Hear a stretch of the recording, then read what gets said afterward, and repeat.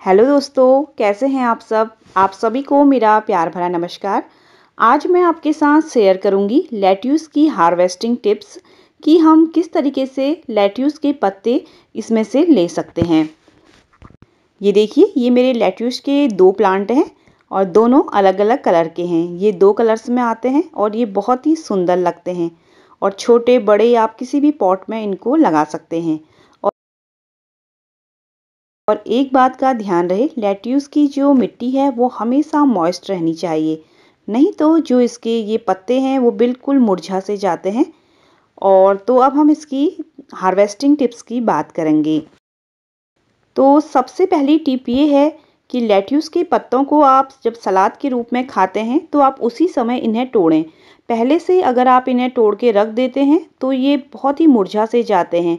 इसलिए आप उसी समय तोड़ें जब आप इनको खाते हैं।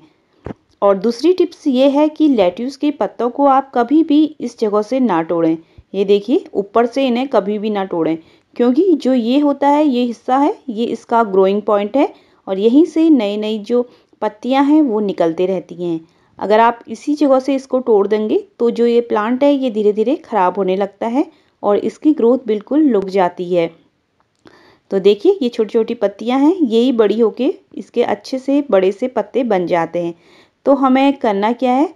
हमें ये देखिए, जो सबसे नीचे का पार्ट है, हमें इस जगह से इसके पत्तों को तोड़ना है, ये देखिए। इस तरीके से जो भी आपको पुराना पत्ता लगे, पहले आप उसे तोड़ लें और कभी भी पत्तों को ज़ोर से खींच के ना तोड़ें। अगर आप इसे ज़ोर से खींच के तोड़ेंगे तो जो इसका नीचे का तना होता है, ये छिल सा जाता है और उसमें धीरे धीरे फंगस लग सकती है। और ये देखिए, मैंने थोड़ा सा ऊपर से तोड़ा है, इतना छोड़ दिया है। इसी तरीके से आप भी तोड़ें।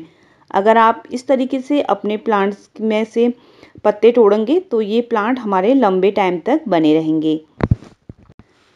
लेट्यूस सैलेड में बहुत ही ज़्यादा अच्छा लगता है और साथ ही ये हमारे लिए बहुत ही ज़्यादा हेल्दी भी रहता है। ये देखिए, और जो इनके पत्ते का कलर है, ये काफ़ी ज़्यादा खूबसूरत भी लगते हैं। ये पत्ते आप डेकोरेशन के हिसाब से भी लगा सकते हैं और घर में इनसे सलाद भी ले सकते हैं। ये देखिए, मैंने इसके इतने पत्ते ले लिए हैं कि इतने की ही मुझे अभी ज़रूरत है। और जैसे ही हमें दूसरे दिन फिर से हमें सैलेड के लिए इनके पत्ते लेने होते हैं, फिर से हम दो तीन पत्ते इनमें से तोड़ लेते हैं। तो हमेशा जब भी आप सैलेड बनाएँ तो फ्रेश ही पत्ते इनके लें। और अभी मेरे पास इसके ये दो प्लांट हैं ये देखिए, ये छोटे, बड़े किसी भी पॉट पे आप इनको ग्रो कर सकते हैं।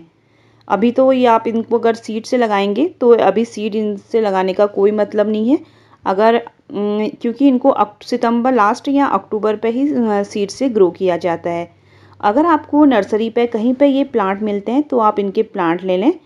क्योंकि अभी कुछ टाइम बाद इसमें से सीड्स निकलेंगे और फिर हम इनके सीड से नेक्स्ट ईयर बहुत सारे नए प्लांट्स बना सकते हैं।